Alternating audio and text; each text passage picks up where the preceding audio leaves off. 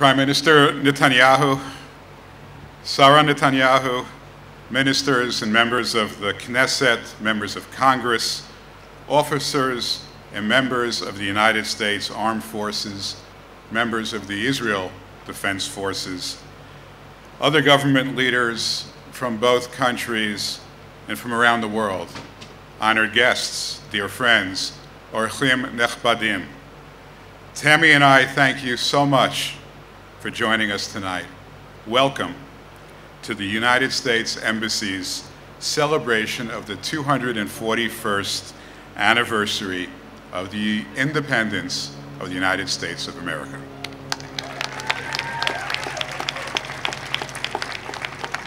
So many people deserve thanks for creating this extraordinary event.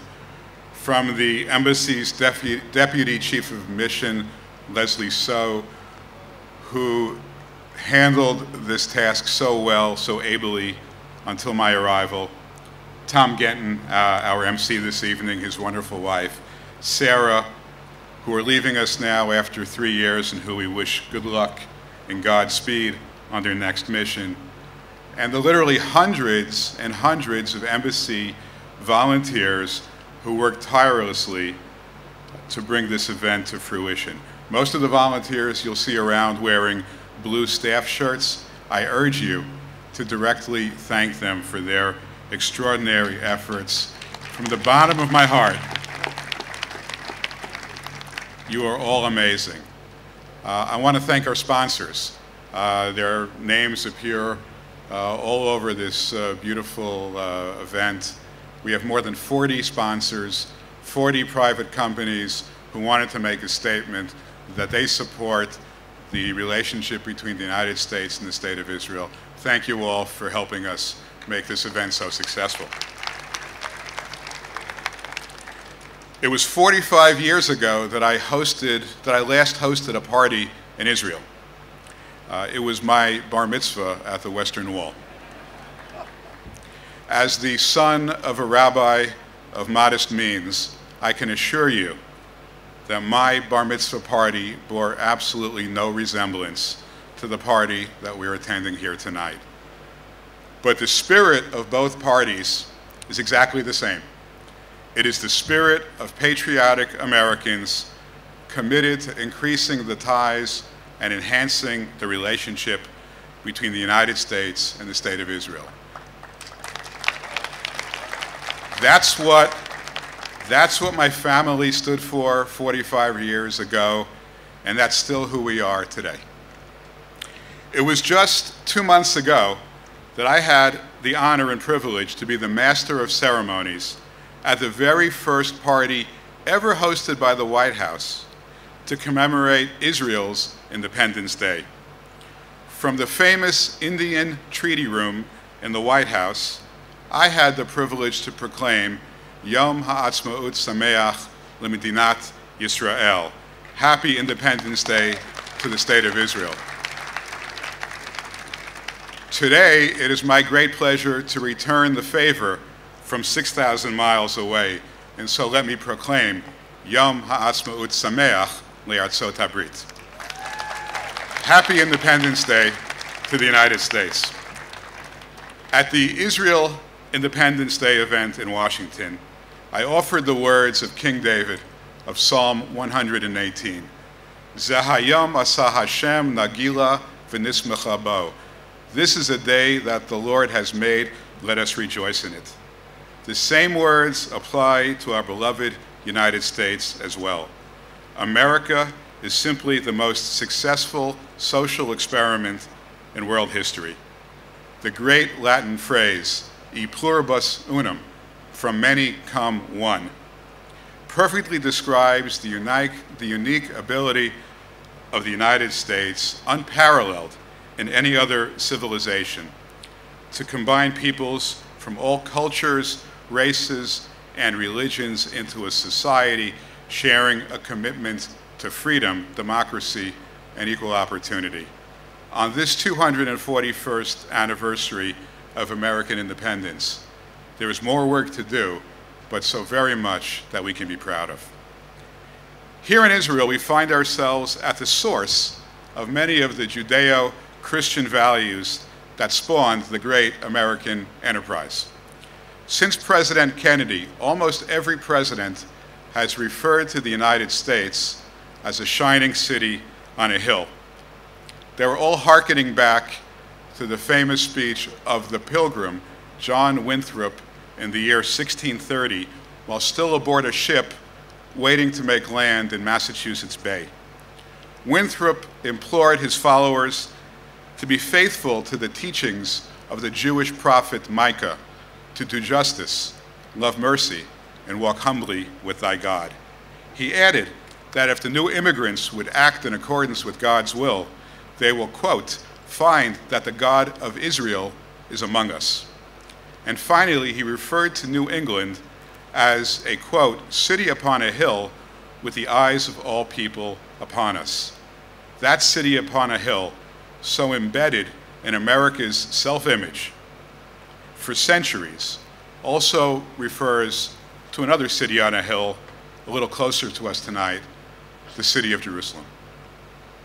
So much of us who are Americans derive, uh, so much of us derive who we are from the teachings of ancient Israel. And perhaps for that reason, it is no surprise that the United States and Israel have the most special of special relationships. We have, of course, common enemies that unite us. We have extraordinary military and intelligence cooperation that unites us.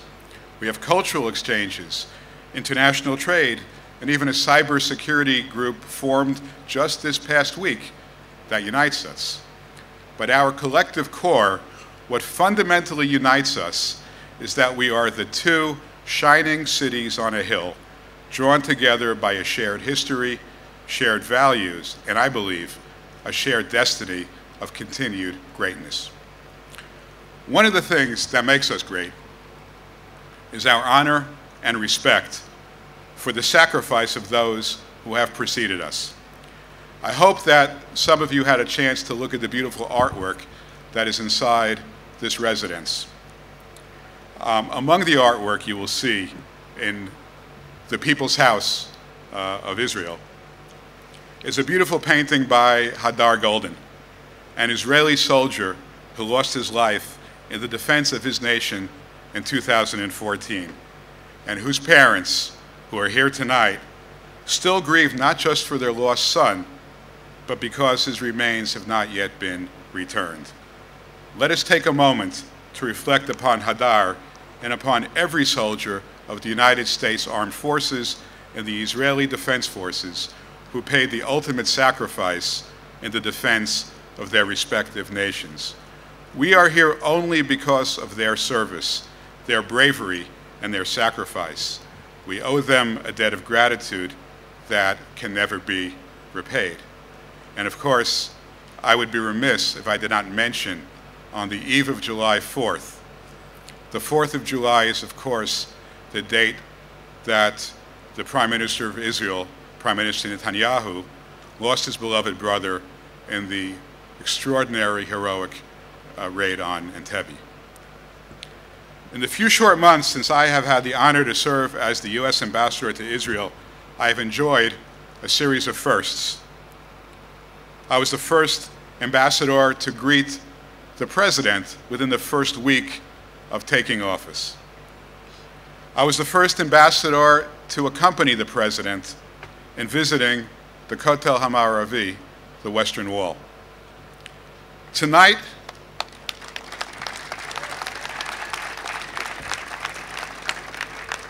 tonight is yet another first. In just a moment, I will be the first ambassador to introduce the Prime Minister of Israel twice in one day. Just hours ago, I had the privilege to introduce the Prime Minister as he addressed thousands of U.S. sailors on board the aircraft carrier USS George H.W. Bush. At nearly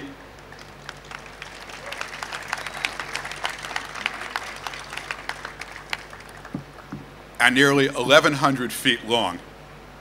She is the largest military ship in the world. The Bush is anchored right now about four kilometers off the coast of Haifa, and it is in Israel's territorial waters for the first time in 17 years. Let me also mention one more first. For approximately 10 years, the USS George H.W. Bush has toured the world from the Mediterranean, the Atlantic, the Pacific, the Indian Ocean. It's been all around the world. Today was the very first time that it ever welcomed a head of state to visit its premises. And of course, that head of state was the Prime Minister of Israel. As I toured the carrier, I marveled at its size, its majesty, its extraordinary capacity to deliver all by itself a magnitude of force unmatched by most countries, let alone by most vessels. But what I marveled at most was how every single man and woman aboard that ship was committed to the American value of peace. Peace through strength, to be sure, but peace nonetheless. And so every member uh, of that ship and every member of the U.S. military hopes never to fire a shot. They hope that by their sheer demonstration of strength and courage to keep the world safe. Needless to say, I will never forget that visit, and I suspect neither will the Prime Minister. And as I thought this afternoon on the helicopter coming back to Sde Airport, I thought about the fundamental principle of peace through strength, which is such a core value of the Trump administration. And I thought about something my father used to say every Shabbat morning as he concluded his services. He would quote from the last sentence of Psalm 29 Hashem oz li'amo yitain, Hashem yivarech et amo bashalom. The Lord will give strength unto his people, the Lord will bless his nation with peace. And I thought as I was flying back, it's sort of an odd statement. If God is blessing his people with peace, why do they need strength? Isn't strength what you need when you don't have peace? And it occurred to me that King David, some 3,000 years ago, had recognized something very profound. While we can all want to be blessed with peace, we can only achieve this peace if we are strong.